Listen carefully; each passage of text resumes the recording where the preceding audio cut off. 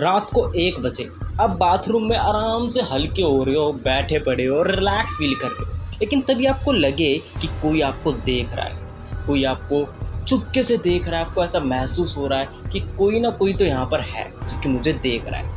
Internet की theory के according अगर हम लोग सोचें तो 80 परसेंट चांस है कि ये सच है, कि कोई आपको देख रहा है। कोई इनविजिबल शक्ति है इनविजिबल पावर है, कोई इनविजिबल ह्यूमन है जो कि आप लोगों को देखने की कोशिश कर रहा है। और ऐसा फील आप तब भी करते हो जब आप सड़क पे अकेले आराम से चल रहे होते हो और आपको लगता है कि कोई ना कोई तो मेरा पीछा कर रहा है भाई, लेकिन वो आपकी परछाई होती है।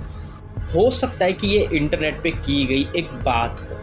लेकिन होने को तो ये सच भी हो सकता है। क्या पता आपके पीछे कोई चलता हुआ आ रहा हो, क्या पता आपको महसूस हो रहा हो कि कोई आपके पीछे चल रहा है, कोई आपके पीछे कुछ बोल रहा है, कोई आपको देखने की कोशिश कर रहा है। होने को तो कुछ भी हो सकता है। आपको क्या लगता है कमेंट्स में लिख के ज़रूर बताना।